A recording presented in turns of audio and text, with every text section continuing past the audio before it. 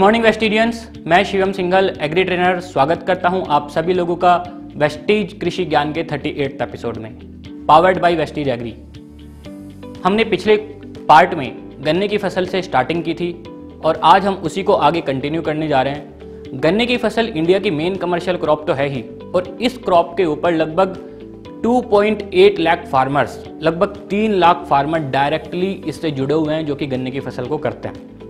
आज हम part number two की बात करने जा रहे हैं, जो कि है सीड ट्रीटमेंट बीज उपचार हम इसको कह सकते हैं। गन्ने की फ़सल में जो बीजों का मटेरियल रहता है, उसको हम सेट्स भी बोल सकते हैं। जब हम बीज लगाते हैं तो लगाने से पहले हम लोग वेस्टीज के एग्री प्रोडक्ट्स के साथ बीज उपचार कर सकते हैं। बीज उपचार करने के लिए हम वेस्टीज एग्री ह्यूमिक का प्रयोग कर सकते हैं। वेस्टीज एग्री ह्यूमिक की डोज पाँच एम प्रति लीटर रहती है, उसका सोल्यूशन बना के हम बीज उपचार के लिए प्रयोग कर सकते हैं। एग्री ह्यूमिक से बीज उपचार करने के बाद हमें गन्ने की बुआई के बाद जो ग्रोथ मिलती है ग्रोथ बहुत अच्छी प्राप्त होती है और जड़ों का विकास भी बहुत अच्छे से होता है। दूसरा प्रोडक्ट जो हम गन्ने के सीड ट्रीटमेंट के लिए प्रयोग कर सकते हैं, वो है वेस्टीज एग्री प्रोटेक्ट इसकी मात्रा भी पाँच से दस ग्राम प्रति लीटर के अकॉर्डिंग रहती है। सॉल्यूशन बना के इससे भी हम बीज उपचार कर सकते हैं और यह हमारी फ़सल को फफून जनित रोगों से बचाने का काम करता है।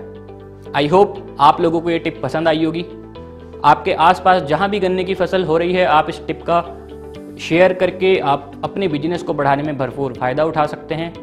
अगले एपिसोड में हम लोग फिर मिलेंगे इसी प्रकार की भरपूर इन्फॉर्मेशन के साथ। जुड़े रहिएगा हमारे साथ। मिलते हैं नेक्स्ट एपिसोड में एपिसोड नंबर 39 में। तब तक के लिए बहुत बहुत धन्यवाद। Thank you very much and wish you wealth